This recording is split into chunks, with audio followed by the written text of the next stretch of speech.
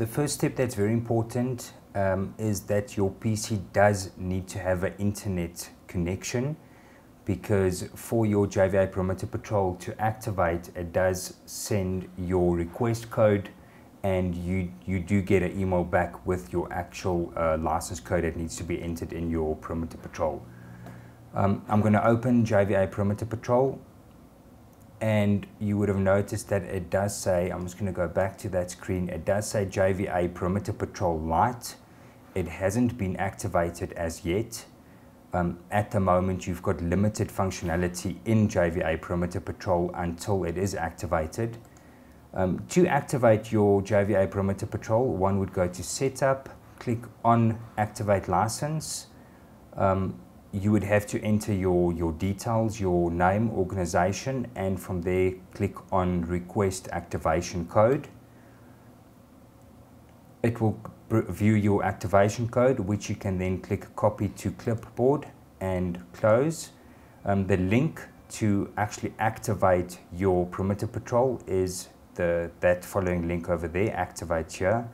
Um, the coupon code needed for your actual perimeter patrol installation is a coupon code that has to be requested from your JVA salesperson. Um, you would have to give your JVA salesperson specific information on how many zones you would need and also if HLI, which is high level interface, will be needed for JVA perimeter patrol.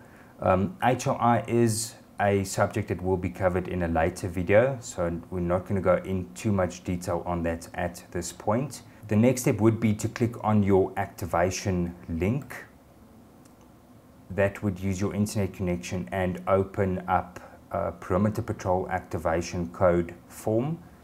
Um, in this specific window, your activation request code has already been pasted, but your coupon code which you received from your JVA salesperson needs to be entered.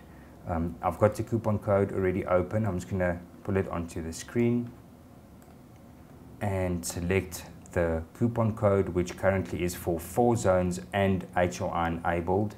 And I'm going to copy the coupon code and paste it in the field.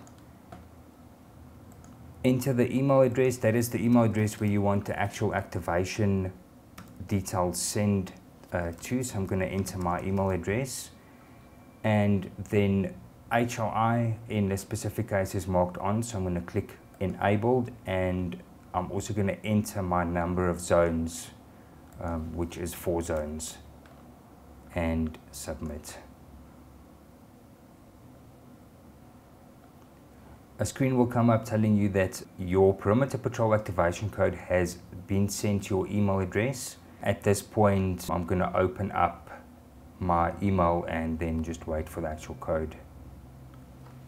Once your activation code has been received via email, one can click on your code. It will tell you that you registered as the following user and organization. It will also give your activation code, which we are going to copy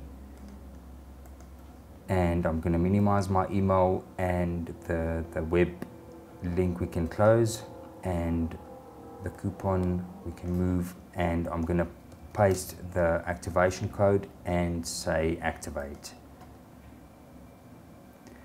Um, it says success, success this, uh, the product is now licensed for use on this computer. Click OK to close the program.